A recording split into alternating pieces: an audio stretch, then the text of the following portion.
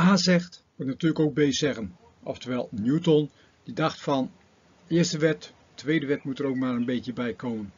Eh, voor de tweede wet kleden we hem wel een beetje aan. Pas een t-shirt, want wat erop staat, dat is eigenlijk al de tweede wet. We gaan van start. De eerste wet van Newton, nou, die ken je natuurlijk, althans ik hoop wel dat je die nog kent. Dat is deze, als de snelheid constant is, dan is de resulterende kracht 0. Newton dacht even na en van, hé, hey, maar als er dan wel een resulterende kracht is, dan zal dus de snelheid niet constant zijn en dan is er een versnelling. De vraag die Newton zichzelf stelde, was dan ook, wat is nu het verband tussen de resulterende kracht en die versnelling? Oké, we gaan even een testje doen, een proef. Ja, ik heb hier drie mooie kinderwagens. Uh, ze zijn alle drie even zwaar. En de eerste kinderwagen, die trekken we voort, of duwen voort, met 2 newton. Nou, heb 2 newton, dan gaat je naar rechts niet al te snel, maar het gaat wel iedere keer sneller sneller, want er is een kracht, dus de snelheid blijft niet constant. De blauwe kinderwagen, die duwen we voort met een twee keer zo grote kracht. Nou, gaat hij weer, ja, en ja, hij gaat wel wat sneller dan de eerste. En de gele, ja, daar zetten we een echte krachtpatser bij, 8 newton, en die gaat, zoals verwacht, nog sneller. Nog een keer. Ja, alleen nu eventjes tegelijk. En nou, het is wel duidelijk dat de grootste kracht de grootste versnelling is. En nog een keer, alleen nu zetten we de versnelling erbij. De onderste, die heeft een versnelling van 1, de middelste een half en de grootste, de hoogste een kwart. Dat betekent dus dat als je de kracht blijkbaar twee keer zo groot maakt, dan wordt de versnelling ook twee keer zo groot. En dat geldt ook voor deze. Ja, als de kracht vier keer zo groot wordt, wordt de versnelling ook vier keer zo groot. We maken het iets duidelijker nog door het in de grafiek te zetten. Ja, in de grafiek van kracht en versnelling. Wat is het eerste meetpunt van de grafiek? Niet die van 2 newton. Nee, bij 0 newton weet je ook dat de versnelling 0 is. Want dat is de eerste wet van Newton. Resulterende kracht 0, versnelling ook 0. Nou, nu doen we eventjes de andere er natuurlijk ook bij. Bij 2 newton was de versnelling een kwart. Bij 4 newton is de versnelling een half. En bij 8 newton is hij precies 1. En dan zie je dat al deze punten keurig op een rechte lijn door de oorsprong liggen.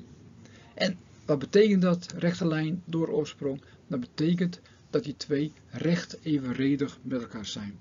Dus wat is het verband tussen resulterende kracht en de versnelling? Dat is dat ze recht evenredig met elkaar zijn. We gaan verder. Weer drie dezelfde wagens en op de eerste wagen 8 newton, tweede wagen 8 newton en derde wagen ook 8 newton. Nou, het is logisch, gelijke krachten, dan zullen ze ook natuurlijk gelijke versnelling hebben. In dit geval krijgen ze allemaal een versnelling van die 1 meter per seconde kwadraat. dat hebben we vorige keer gezien. Um, nog een keer, maar nu krijg je als informatie bij dat de massa van zo'n kinderwagen 8 kilogram is. Nou, voor de eerste maakt het natuurlijk niet zoveel uit. Nee, hoppakee, die gaat er gewoon bij. Maar bij de tweede, daar plaatsen we eventjes een baby bij in. En die baby heeft zelf ook een massa van 8 kilogram, dus samen 16 kilogram. En ja, als je met dezelfde kracht gaat duwen, dan zou je dus minder snel op gaan komen. En bij de derde, ja, even een flinke kanje erin, 32 kilogram in totaal.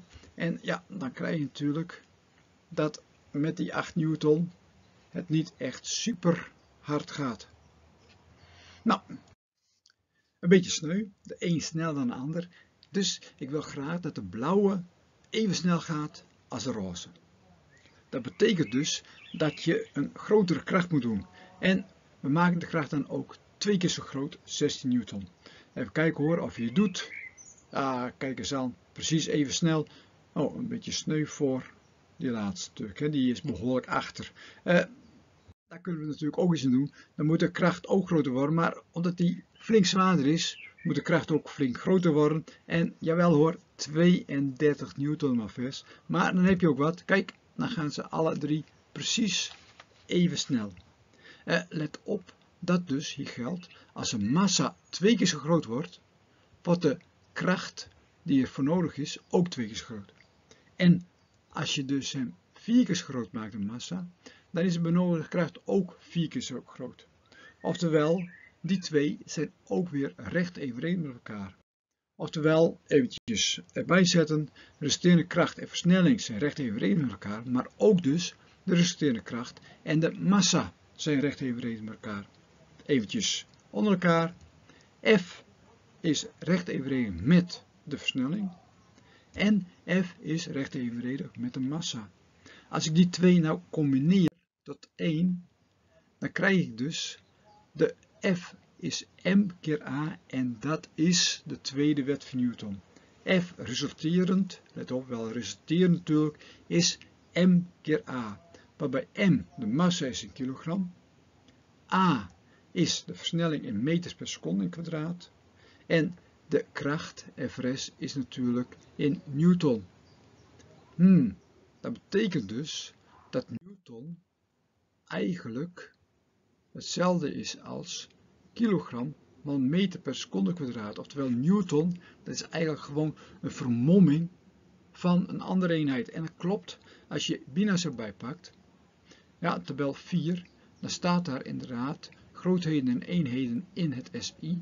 En daar staan alle eenheden in die je natuurkunde kent.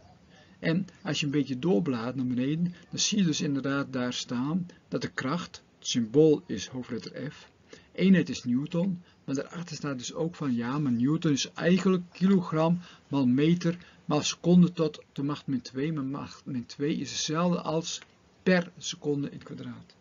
Dus je kunt alles in bina's opzoeken. Een voorbeeldje lijkt sterk op die van de eerste wet van Newton, maar hij trekt nu niet de slee met een constante snelheid. Nee, hij trekt met een versnelling van 0,2 meter per seconde kwadraat. Voor de rest is wel hetzelfde. De wrijvingskracht is steeds 40 newton en hij trekt onder hoek van 40 graden met de horizontaal. En de vraag is eigenlijk ook hetzelfde, namelijk hoe groot is de kracht waarmee die persoon aan het trekken is. Nou, we gaan eerst natuurlijk weer alle ballast wegdoen. Dus de slee wordt een punt en die persoon met koord ga ik vervangen door alleen een werklijn voor de trekkracht. Uh, krachten even tekenen. Ik kan in ieder geval de wrijvingskracht tekenen. 40 newton naar rechts. Krachtenschaal erbij. En de trekkracht, ja ik kan hem tekenen, maar de grootte weet ik nog niet. Ik weet alleen de richting. Goed, de massa 40 kilogram. En omdat je de massa weet en je weet de versnelling, kun je dus de resulterende kracht berekenen. Want tweede wet van Newton, F resulterend is nu niet 0, nee, die is m keer a, is 8 newton. Goed, 8 newton, er is 40 newton naar rechts en er is een kracht naar links toe en samen is de resterende kracht 8 newton. Dus is er een kracht naar links toe van 48 newton. Nou, ik teken dus een vector van 4,8 cm lengte. Nou, nu heb ik die weer getekend en dan doe ik hetzelfde als met het voorbeeld bij de eerste wet van Newton. Nou, eventjes een hulplijntje naar het koord en daarna kan ik F-trek tekenen. Ik meet hem op 6,4 cm, dus de trekkracht is 64 newton en ik weet weer het antwoord op de vraag. He, de tweede werd ook weer gehad. Hmm, geen t-shirt? Nou, dan maar een mooie button. Bedankt voor het horen en tot ziens.